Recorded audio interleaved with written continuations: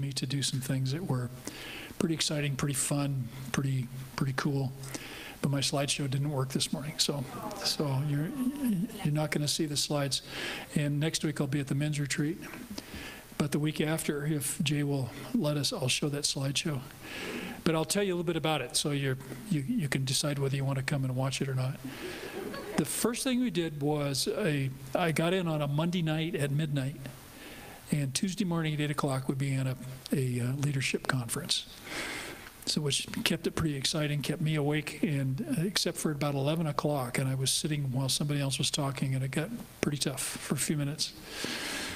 Uh, and I think they understood. Anyway, they didn't throw things at me. So I was, uh, I was there. I was able to teach six times in that conference, and it was really a blessing to be able to do that. I taught on um, discipleship.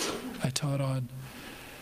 I was going to teach on fellowship, but we didn't have time to get to that. I taught on uh, stewardship, and asked some of the local pastors to teach as well on that because stewardship is something that is somewhat how cultural and you may not realize that we have our own culture here that we don't escape from so often, and we have our ideas about how you give and how you participate in the church's financial needs. So we had we talked about that. And then I also talked on something I a new word that I coined called followship. Okay. So it means basically how do we follow the Lord? How do we how do we follow him in our lives? So we were able to do that together. We did um, three days of, of conference, and the last afternoon of that conference was a team building experience. How many of you have ever been on a team building experience? A few of you have, not very many. So team building experience sounds like you're doing something that you just kind of you hug each other and, and you say sweet nothings in each other's ear. So a team building experience, we did tug of wars, we did a, a musical competition, which was interesting. The theme for the church in Entebbe this year is tools for kingdom use. And so we were all given the challenge to, in five minutes, write and prepare the words, the background music, and any kind of dancing that would go with that, and then to present. And the Africans love to dance. You've, you probably have sensed that from things that you've seen and heard. And so it's hard for me this morning, for example, to stand there and, and just praise the Lord without moving a little bit. So there, those those musical pieces were all um, amazing for, for five minutes worth of preparation.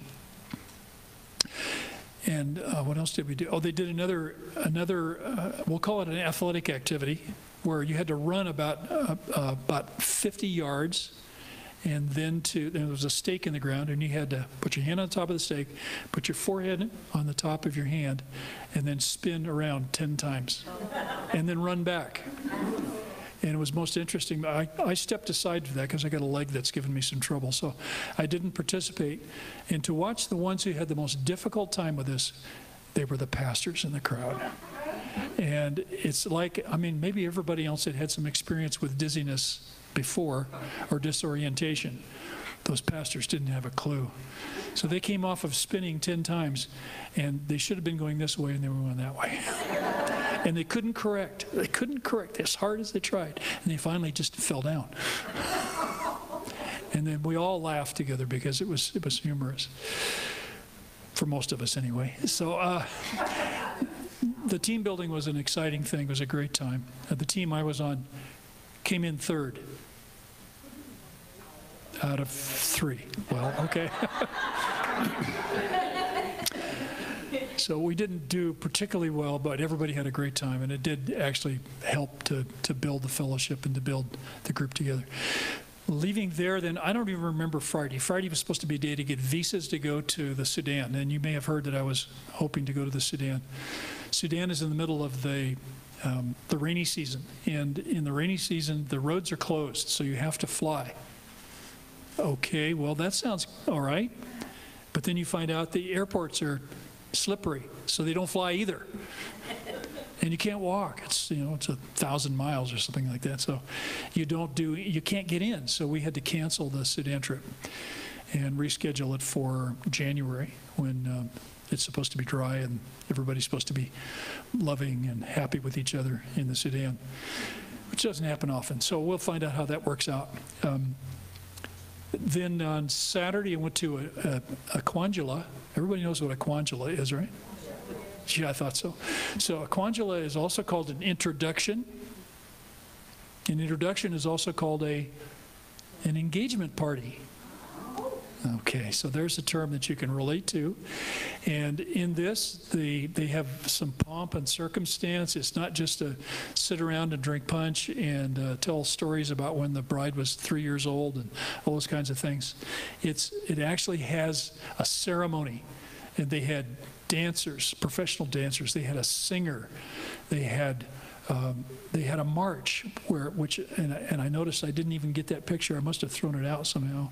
So I'll tell you about it, where the, the bridal party comes marching into the middle of this lawn area. You have a, a tent set up on one side of the lawn with the groom's family, and a tent set up on the other side of the lawn with the bride's family and friends. And then all of these things are going on in between. The families can't be together. They have to be separated. We're, we don't know each other yet. We haven't been officially introduced. Well, the bride and the groom, they probably know each other pretty well by this time, but officially, there's no introduction. So the, the bridal party comes into the middle, and they're all lined up in basically pairs, and they walk in, and they have a an Anglican priest who's part of this crowd that's coming in, and they have a number of other people who look very official. And then the, the groom comes in, and then there are about 15 young women who come in, and they have hoods over their faces, over their heads. You cannot see who they are. Isn't that interesting? Sounds kind of weird. And they all came in and they all sat down.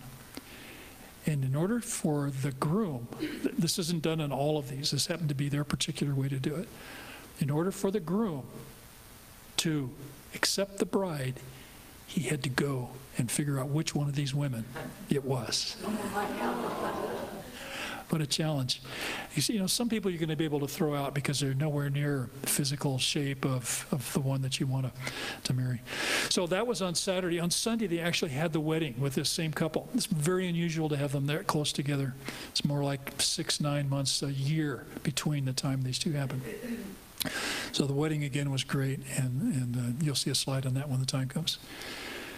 Then um, on Wednesday of that following week, um, basically I took the church in, in Entebbe and did their, their pastors and leaders uh, training in the morning.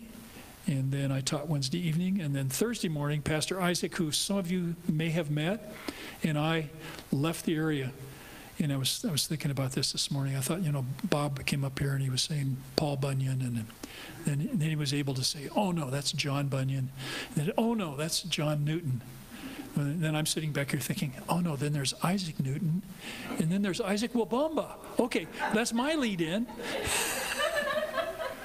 so Pastor Isaac Wabamba and I left, and he, he had been here in the spring. And I took him to one of my favorite places in the world, which is, what would you think it might be? Yosemite, not Starbucks. so I took him to Yosemite.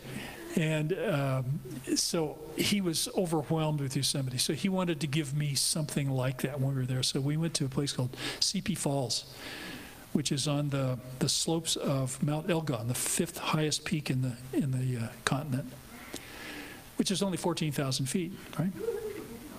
Same as the Sierras here. So it, uh, it's, but it's a nice, it's a beautiful mountain. It's a, it's a volcanic mountain, so it has, you know, it stands kind of by itself. But we were on the slopes of that, and Sipi Falls was beautiful and amazing, and that was just in the way of going to Soroti, Calvary Chapel of Soroti, which is a church plant from Calvary Chapel in Entebbe. And so we went there and um, worked with uh, the leadership on Saturday, and then on Sunday I got to teach again in the morning. And then we quickly headed back for Entebbe because we were planning on hitting for Bolinga, another little town, um, on Monday. Uh, that didn't work out, but Monday night I flew home. So that was the trip. That's kind of the things that happened. And when you see the slides, you'll see I, I, put some, it's in a PowerPoint presentation, so it has some words that go with the slides, and you can see the kinds of things that happened and how they tie together. And it was a great time. You know, God always does his work. If we allow ourselves to be used, he uses us. And it's, it's pretty simple. That's, that's the way it works.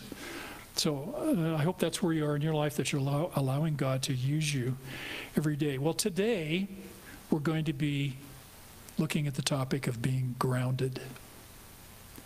Now, it's interesting because when I was in Africa and I, I taught this same message, I said, you know, it's this term actually has more than one meaning. And it might be like grounding an airplane. And that's not really what I intend here. I intend being grounded or founded in the Word of God, grounded in your faith and in your walk. And this morning, somebody looked at the, the title of the message and said, I don't want to be grounded. and you're thinking about, well, I don't, when I was a kid, grounding wasn't an option. That wasn't on the list of things you could be. You could be beaten, you could be whipped, you could be banished. You could be kicked out of the house. But grounded is something that's a little more modern. You know, it's the, and some of you may not even know what it means. Is that really true? So it's a it's a method that's used for disciplining children today, in case you don't know.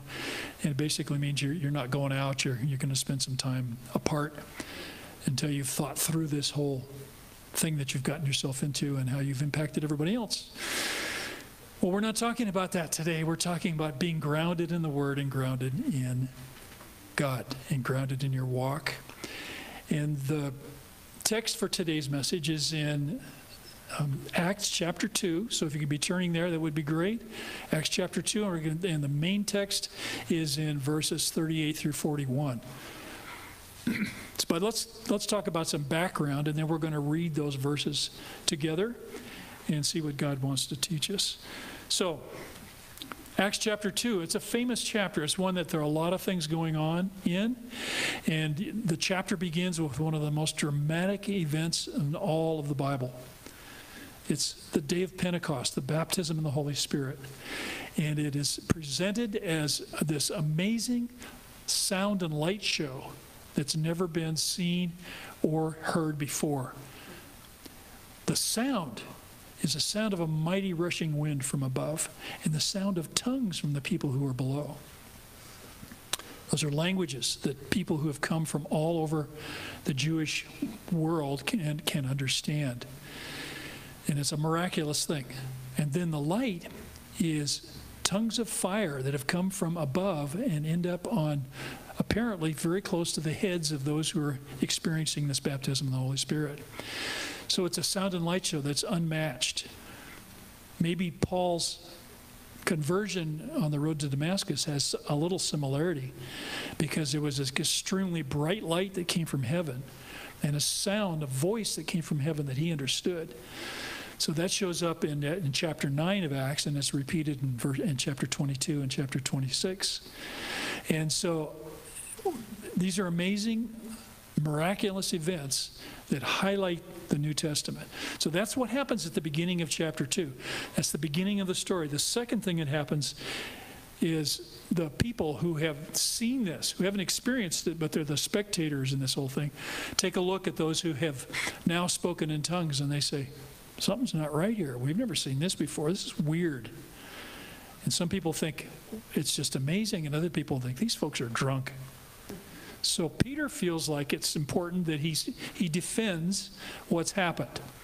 So Peter gets up and he preaches. This is the first time we have a recording of Peter preaching. This is Peter who has now been baptized in the Holy Spirit. So he's a little bit different guy than he was before this time. Before he was pretty much uh, uh, 100% in this direction or 100% in that direction. Now he's 100% in this direction. And he's a changed man. So we see him get up and he preaches. And the first thing he does in his message is he talks about the Old Testament basis for what's happening. It's, it's the foretelling of the Messiah. And he uses two different prophecies of the Messiah. He uses one from Joel and he uses one from David. And these are people with whom his audience is extremely familiar. These aren't strangers to them. These are all Jews, practicing Jews. They're the ones who've come to Jerusalem to celebrate the, the Pentecost time. And so they're ones who know that what he's saying. And they're familiar with those sections of Scripture. But the next thing he does, then he tells about the Messiah revealed. And this is news to most of them. And it comes all down to what he has said in verse 36, and that is that Jesus, this Jesus of Nazareth, whom you crucified, a hmm, little tough there, is the Messiah. And this is brand new information for them. And so they listen to it. And then in verse 37, they say, What are we supposed to do? And that's where the message begins today. But we're going to come back to that in a few minutes. So in verse 42, we see the beginning of the church. The church as we know it today didn't exist before this time. And so we have now a new thing that's happened, and it's the church, the birth of the church. So as we see, we look at verse 42, and, and it's a it's a very popular and very common set of verses that talks about how the how the church functioned in its early days. And if we think about it today, we would really like it to function in those same aspects today. We may not do things exactly the same, but we ought to pick up the important aspects of it as a church today. It talks about things like teaching of the word and fellowship and looking out for the good of each other. so, when you look at the difference between before and after the church began, the first thing you see is those who were worshiping were Jews. But after the church began, those people were called Christians. Exactly. So before the church began, they became Jews by birth. But after the church began, you became a Christian by rebirth. Rebirth. So before the church began, all of the people looked out for their own individual good. He said, I'm going to look out for me. I'm not really too concerned about the rest of the people in the room. But after the church began, corporate good became the key. So we were looking out for each other making sure that all of us are walking together successfully. Before the church began, the people walked in the name of God. They were the people of God. They were Israel, the, the people that God had set aside. But after the church began, we began to walk the life of God actually living the life, not just carrying the name, but living the life of God. And then the fifth item is before the church began, they lived in the law. And now that the church is beginning, they were living in grace. So big changes happened as the church began. So that's the background, that's the information, the text, the context that you see in chapter 2. And as we go through today, we're going to be looking at the context across a larger portion of Scripture to make sure that we're not getting too far off base. And I will warn you, I'm going to say some things today that may challenge your theology once in a while. And if it challenges to the point where you think, um, that guy's goofed up, then, uh, well, praise God for you. And uh, may it drive you to the Scripture to see if you come to the same conclusions I came to. And if you don't, praise God. I'm still going to see you in heaven. So, even though I may be a, a horrible heretic, no. So, Acts chapter 2, verse 38 through 41. Let's read them together. And I'll be reading from the ESV version of the Bible. Says, And Peter said to them, Repent and be baptized, every one of you, in the name of Jesus Christ, for the forgiveness of your sins, and you will receive the gift of the Holy Spirit. For the promise is for you and for your children and for all who are far off, everyone whom the Lord our God calls to himself. And with many other words he bore witness and continued to exhort them, saying, Save yourselves from this wicked generation. So those who received his word were baptized, and there were added that day about 3,000 souls. Father, we thank you for your word. We thank you, Lord, that it speaks to us. I thank you that your Holy Spirit is alive and well and wants to uh, make an impression upon our lives of some things today that maybe we haven't thought about or maybe we just need to be reminded of that will bring us close to you and make us more useful in your kingdom. So bless your word. And God, as we share together, just pray, God, that we would be equipped in Jesus' name. Amen. Well, let's take a look at verse 38 in more detail. The first thing it says that we are to repent, and you've, you know this term, and you've, you've heard it many times. And repentance isn't just something we do one time. And I think that's the thing that we, we tend to forget is that repentance is something that, as long as you're a, a normal human being, there are times throughout your life when repentance is important. You're going to have to do it again and again. You're going to have to re repent, if that's a word, as time goes on. We need to be sensitive to what's happening in our lives, the kind of things that have entered our lives that we need to repent from. So, as he looks at repentance, I'll tell you the New Testament context. This idea of repenting is also presented just a, a, short time later in Acts when Peter goes to a lame beggar, or the lame beggar comes to him, and he says, What should I do? And he says, The first thing you should do is repent. So he says that to the lame beggar. So the next group of people or groups of people that is actually said to are Jews and Greeks. So the Jews and the Greeks are also told they're supposed to repent. That's a big group of people. It's all the Jews, all the people who are his current audience, and the Greeks who will be his future audience as he runs into them. And it probably should also include us because we're more Greek than we are Jew. I think. Some of you may be Jewish, but most of us have Greek minds, at least as Jay would remind us so often. We're, we're people who reason and think through things maybe way too much. And so uh, that's the second group of people. Then the third approach about repentance is there's a one man who's told that he has to repent. His name is Saul. Saul of Tarsus, he's told that he needs to repent. And so we see that this is a message that is common in the New Testament. So here we see uh, Peter saying that to these people now who've asked, What are we supposed to do? Well, number one, repent. What's it mean to repent? Well, I took two, three different approaches at repentance, and to just help me understand and maybe help you understand too that repentance has some different aspects. First is that we need to change direction. So if you were heading in that direction, I'm going to change and go in this direction. So it's not doing the same thing. It's it's getting away from what you've been doing, the things that have held you back or get you have had you doing something you ought not to be doing.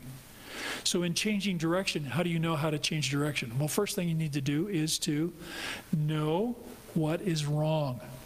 Understand what's wrong in your life. Well, once you understand what's wrong in your life, and you say, well, maybe I shouldn't do that anymore, then you get this big hole in your life. So what you need to fill it with is, is knowing what is right. So replace what is wrong with what is right.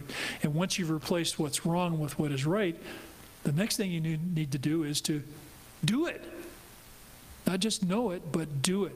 So we need to do what is right. That's changing direction. The next definition of repenting might be to turn around. So I'm going to turn around for a second, and I'll turn back. Okay? So turn completely away from what's going on your on your life that has held you back or held you down or kept you in a sinful pattern. That means to turn your back on, like I just did my little demonstration. Secondly, it means to take a new direction, not just to be going in the old direction or a modification of the old direction, but a totally new direction. And then don't look back. And that's the temptation that we often get called into. And there's a, a key example of this in the Old Testament. And who remembers who it was? Lot's wife. She looked back, and, it, and, and the message wasn't so much that Sodom was a terrible place. The message was that you need to move on. Don't get pulled back into the things that controlled your life before. So that's a part of repentance as well. So change direction, turn around, and then the third area is to drop and go. It almost sounds like something you tell to uh, a military person or to a, a first responder. So, drop and go, first of all, means put it down. Secondly, means is don't pick it up. Pretty simple, right? Put it down, don't pick it up. But once we've done that, you know, the temptation there is we drop it. All of us drop it. We say, oh, this is my day of salvation. This is my day of repentance. I'm not going back there anymore. oh, some of that wasn't all so bad. Uh, and then we pick it up, or we pick up a little bit of it again. That's the, the great temptation that we have in our lives. So we need to say, don't pick it up. And then I would like to say walk away from it, but no, that's not enough. We need to run away from it. Don't just walk. And we need to run as far and as fast as we can. Get completely away from it. You know, it's easy. You know, some of you have dealt with some uh, addictions in your life. And it might be easy to, to look at the addiction and say, well, I had all these friends when I was addicted. Friends. They may or may not be friends, truly friends. They were companions in the addiction who need the word, they need the gospel. So I think I'll go back. I'm going to go back into that bar or back into that, that drug hall or whatever it might be, and I'm going to share the gospel. If the Holy Spirit tells you to do that, I'm not going to tell you not to do that, but I would tell you that it is it puts you in a very risky situation. So I would be extremely careful about those kinds of things. I think we need to run away. The second thing that verse 38 says that we are to be baptized. Huh? Now, there's a term that we're familiar with, and the, there's a context again in the New Testament. Well, first, we see that Paul is, is told to be baptized, and he is baptized. When um, the message goes out to the Samaritans, the Samaritans are told to be baptized, and they're baptized. And also, we see the Gentiles are given the opportunity to be baptized, and they are baptized. Well, there's one other area, and that is the Great Commission. Go into all the world, preach the gospel, and baptize.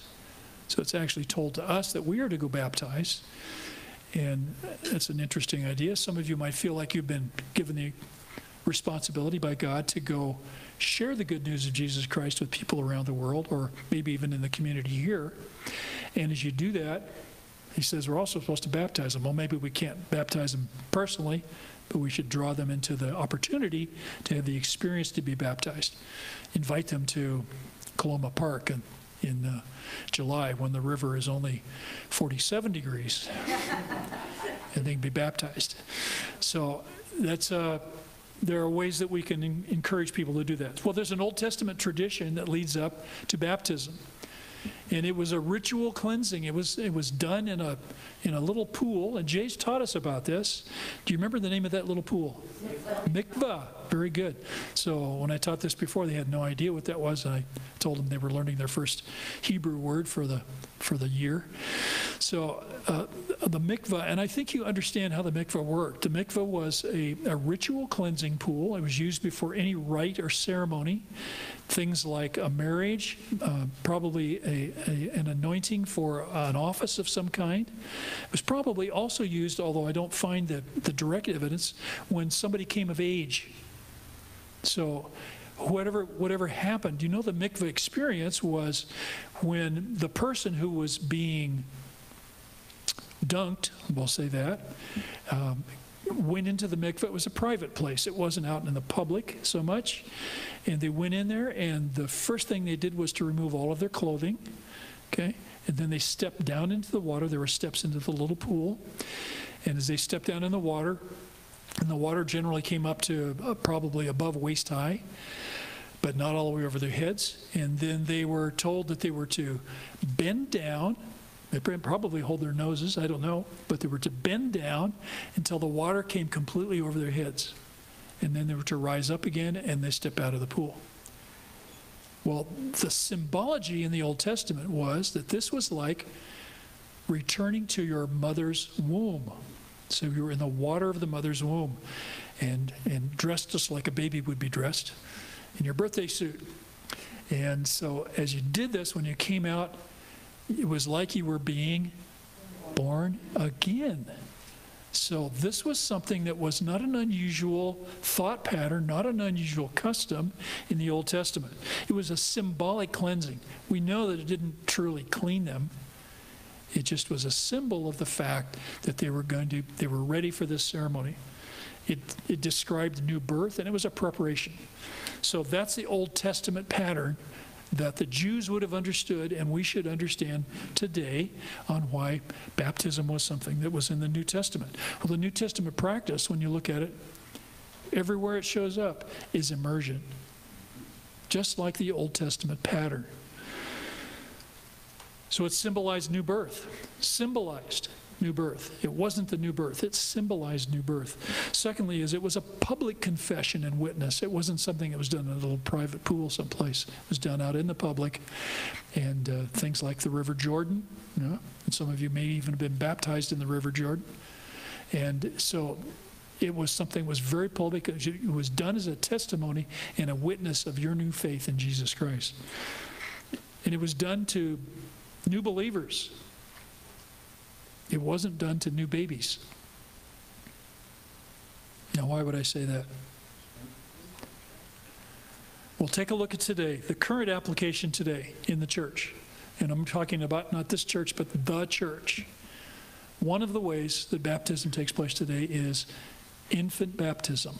Infant baptism. So, little babies, when they are some days old, even to a little bit older, are, are baptized in the church, and this is done by just the application of a small amount of water by the priest or the pastor to the baby, usually on the forehead, sometimes in the shape of a cross. And that's done for tradition, but they have a, a thought behind their tradition, and that is that this baptism of the little baby infant cleanses them from original sin. Nowhere in the Bible does it say this is true, but it is a tradition. Okay? Traditions sometimes become more important than truth in people's minds. But it's a tradition. Is it a bad thing to do? I don't think so. How many of you were baptized as infants? So, I'm raising my hand. I'm not just giving you an example. I was also, I was, I wasn't raised in the Methodist church, but I my parents pretended they were Methodists, so once in a while we went to the Methodist church, and things like that were the times when you went. And so there are churches today that still practice it. We use we do something that's not identical, but something with the same idea in mind, um, some of the same ideas in mind. We call it baby dedication. So we're basically saying, you know, we're dedicating the baby to live a life in Jesus Christ, but we're really saying to you parents, you have a big responsibility, and uh, we're and we're going to stand with you, and that's what we're saying in that. So the Bible doesn't support that this infant baptism removes original sin. Sorry if that's something that you you've held on to all these years. It just doesn't support it. It's not a bad thing. It's great to have that ceremony and to dedicate the child. And so I, I, I think it's not something that we just throw out. I don't think it's something that's fatal in the, the walk of a person. The second way we baptize today is adult sprinkling. So this is also supported by tradition. There's nothing in the Bible that indicates that anybody was sprinkled. Okay? So the adult sprinkling is much like you would sprinkle a baby. The, the priest or the pastor takes his finger, sticks it in water, and then puts a dot on the forehead or makes a shape of a cross on the forehead. It depends on their customs and their traditions. But it is supported by, by tradition. It's not really supported by the scriptures. So what if somebody was baptized in that way? Is it a bad thing? No, I don't think so. Uh, but it, it, it, what was the purpose? What was the meaning? Was it a public confession of their faith in Jesus Christ? I'm not going to fuss about it. But the Bible strongly supports adult baptism by immersion. So that's what we do. And if you if you're comfortable with something else, praise God. So verse 38 and 39 talk about something else. They talk about receiving the Holy Spirit. And there is a New Testament context here as well. The Jews received the Holy Spirit. The Samaritans, who were what? Half Jew, half Gentile. They were an intermarriage between the Israelites and the Assyrians, right? Okay. And they stayed in the land. And then they were, it was also um, the Holy Spirit was also given to the Gentiles. So those are the ones who were totally Gentile, no Jewish blood at all. So that applies to most of us in the room. I don't know if there are any Jewish ancestor people here. If there are, praise God. You got it. You ended up in the in the first category, not the third category like the rest of us. So, why receive the Holy Spirit? Why? Is it important? Well, first point I would make is the Holy Spirit is life. Now, spirit, I think it's called ruach in the, in the Hebrew, means breath. It's the breath. It's the breath of God. And by breath, he's not speaking about so much about physical breath, and I'll talk about it in just a second. He's talking about a spiritual breath, the life that comes. We know that breath is life, right? If we don't breathe, we die. Okay. So we need to have the breath of the Holy Spirit working in us spiritually in order for us to be alive in Christ. Secondly, is that the Holy Spirit enables. You realize if the Holy Spirit had never spoken to your heart, you would never understand that you need a relationship with God the Father. So he enables us to understand the word. He takes the word and the preaching of the cross, which is foolishness to those who don't believe, and turns it into the wisest possible thing it can be. And he allows us the opportunity then to establish a relationship with our Heavenly Father through the blood of Jesus Christ. Praise God. Amen. So, thirdly, the Holy Spirit is power. And it's people think about power in different ways. And, and, with the Africans, I like to joke with them a little bit because some of the people there who are teaching are teaching from what they've learned on television, from American television. Um, they either don't have a Bible or they just don't take the time to study it. It's, it's too much work. Um, so they, they pick up the things that American preachers do who tend to talk about the power. well, the power of the Holy Spirit, as described in His Word, is the power to share the gospel of Jesus Christ. It takes power to do that. He's not talking about some, at least not here, some supernatural power that makes you superhuman. It makes you super rich or super successful. He's talking about the power to be successful for eternity, to present the gospel, the good news of Jesus Christ. So he gives us that. So, how do we receive this Holy Spirit? This is where you might think differently than I do, but when you look at the scripture the way it's worded, it says that this baptism of the Holy Spirit comes at the time you are born again. There's one baptism that comes to you when you are born again. So the Holy Spirit comes into your life, and we call that, often we call that the baptism of the Holy Spirit. Well, how do you get it? Well, it's the ABCs of faith. Accept God's grace believe and confess Jesus Christ as your Savior. That's the ABCs. It's pretty simple. People would want to strive and to tarry and to struggle to receive this, but God says He will give it to us if we ask, if we turn our lives over to Him. When does it happen? At salvation. Just said that. But there's more to it than that. The fact is that we need to be filled over and over again. We need to be filled over and over again. Why? Well, I think Jay's told us because we leak. Yeah, it's a memorable phrase, isn't it? We leak, we leak out, and, we, and there's a good leak and there's a bad leak. the, the, the good leak is that because we are constantly living in the Spirit and we are giving from us the Spirit to others, that's the good leak. The bad leak is we just get tired in our walk and we get weak. So we need to be refilled. Secondly, is we grieve. We grieve the Holy Spirit. And we grieve Him by just taking Him for granted. And we need to grab a hold of Him and stay strongly living in the Holy Spirit at all times. So, that said, verse 40. It's still Sunday, right? Okay. Verse 40 says that we are to be saved from a crooked generation. This again has a contextual application. When you take a look at the Old Testament, Moses talked about the crooked generation of his day.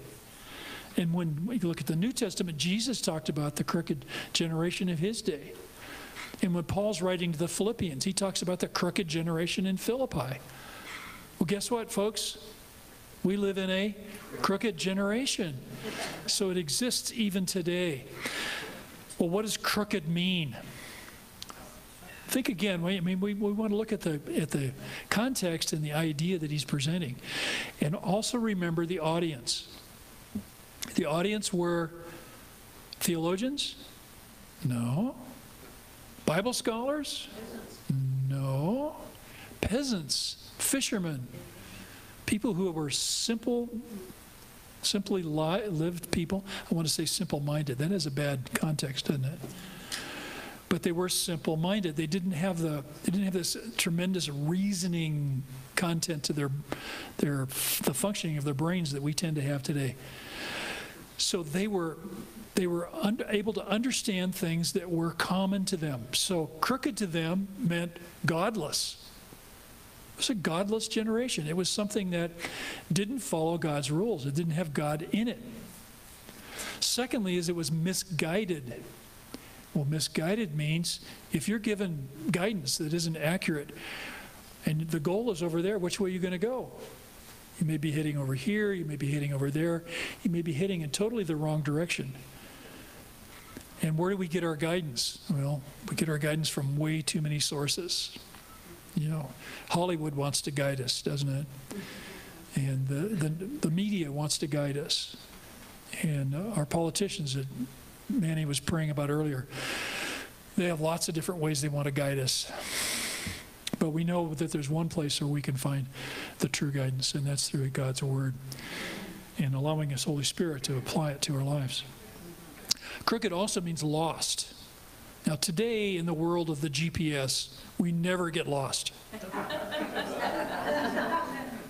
Unless your GPS gives you the wrong data, right? And I've had that happen to me. But it means lost. No GPS, folks. The crooked generation doesn't have a GPS. And so it means that you don't know where you're going, you don't have a clue where you're going or even where you are.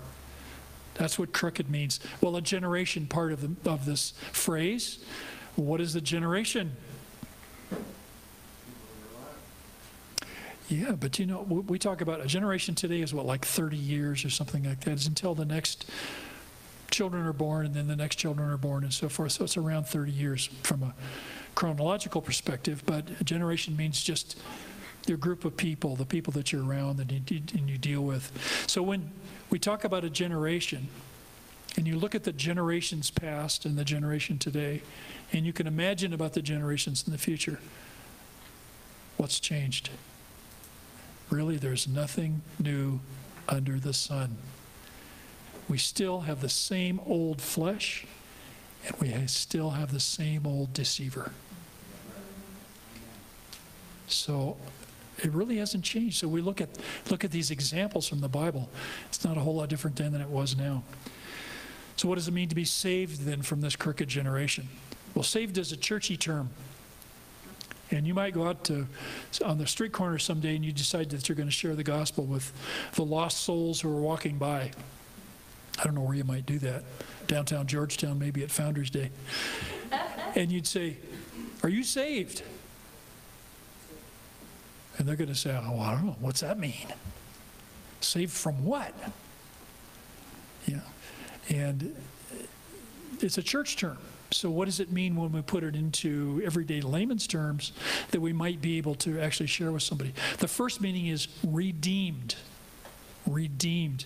And in 1 Corinthians chapter 6 and verse 20, Paul tells us that we are bought with a price. That means to be redeemed. If you're going down to the store, I remember when I was a kid, they had they had savings stamps that you got sometimes when you made purchases. And you could take them and eventually and redeem those stamps for some product. Well, that means you were being bought. You were buying them back. You were somehow making some deposit so you get a return. So being redeemed means to be bought with a price. Second meaning of saved is to be renewed. We're talking about being transformed in your mind. Where's the verse that says that? Romans 12, 2. So look at Romans 12, 2. We're to be, we're to be renewed by the transformation of our minds. Third way to talk about being saved is to be restored. And restored means to be returned to the peace that God intends in our lives and in His world. And if you take a look at Romans 5:1, it'll give you a little bit of, a, some light into that area. Well, now we finally made it to verse 41. Whew. And it's still Sunday. So here we see a description of new life. So Peter has preached the message, he's answered the question, and here is the result. So in verse 41, the first thing we see is that they received the word. They received the word. Like you're receiving the word today, at least you're listening. And I don't see anybody in the room who has yet fallen asleep. So as, as you are listening, you are receiving the word and a bunch of other words as well. So how do we receive the word? We talked about it earlier. The first thing you have to do in order to receive the word is to be prepared to understand it by the Holy Spirit. So the Holy Spirit has prepared us. And we prayed when we began that we would be taught and under, we would understand. We're asking the Holy Spirit to give us minds that can understand, ears that can hear the Word of God as it's, as it's given to us. Secondly, as Peter presented the Word of God, they didn't have a Bible to turn to. They had the Old Testament, but they didn't have they didn't have the Gospels. They didn't have the books of, uh, of Paul's writings or Peter's writings or James' book or John's writings. So they have what Peter preached. So he preached to them, presented to them the Word. So then what happened? The people accepted what they heard and they were saved and they were also Holy Spirit baptized at that point in time. So they responded. Well, the second thing they, that happened then is they were baptized. Well, baptism, as we've already described it and you already knew, is the confession of one person. Maybe one by one. So maybe you have several people who are baptized, but it's an individual experience each person has. But as each person is baptized, we we experience a celebration for all. Everybody celebrates when one person is baptized. So it's an individual baptism, but a corporate celebration. And this baptism symbolizes the new beginning, a new beginning in Jesus Christ, born again, coming back up out of the water with new birth, new life. The result then of all of that was that 3,000 new souls were added to the church. How big was the church before that day? 120, 130 people. It's pretty small. So we don't have 120 here this morning, but let's say we did. Okay, let's bring 3,000 more in here. We'd have a tough time, wouldn't we? We'd have a tough time. We'd have to have, what, 10 services in the morning? my voice would really be tired. So it would be it would be interesting to see what would happen. But think of the, phenomenal change in the church just in a, a few minutes' time, going from a church of 120 or so to a church of 3,120. It's a big change. But do you know that each and every one of those 3,000 people was immensely important? Each and every one of them. Just like each and every one of you is immensely important to our Heavenly Father. And as a result of this, the angels rejoiced. So in heaven, as one soul is added, as 3,000 souls are added, the angels are rejoicing. That's recorded for us in Luke chapter 15, verse 10. Well, that's the story, folks. That's what happens here in these four verses. And I hope it reminds you of where we need to be. There's some things that we can do today. You may or may not know Jesus Christ as your personal Savior. I, I know most of you, almost all of you, and I believe that you do. Some of you may not. And so maybe this is something that you're learning for the first time, something that could be a new experience for you. But if you've walked with Christ for a long time, you may be a little rusty or tired, a little worn out, uh, a little distracted, whatever it might be. So, what can we do? Number one, have you repented? Recently. Not just back when you were saved. Sin sneaks into our lives. We need to repent. Number two, have you been baptized? Some of you, most of you probably been baptized.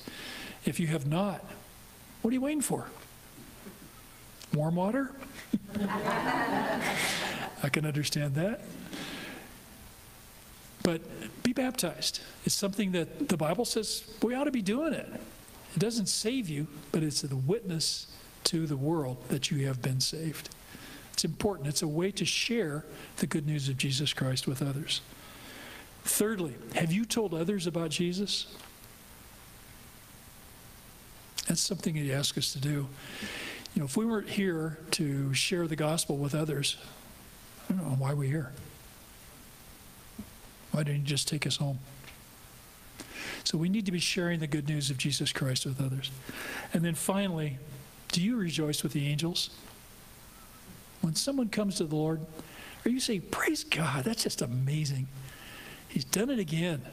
And another precious, precious soul in the kingdom of God. Amen. Amen. Thank you, Lord. We thank you that you love us and that you care for us and you desire our best, corporately and individually. We thank you that you've shown us how we're to live our lives, that we're to repent, and not just once, but frequently. That we're to be cleansed and baptized. And God, for those who've not come to that point in their lives yet, I pray that you to place it on their hearts if it's something that they should be doing. And Lord, for the receipt of the Holy Spirit, we know if we've been born again, you've given us your Holy Spirit, and we are so grateful. And may we not hide all that we've learned. May we allow it to leak from us to others, to influence others' lives for Jesus Christ.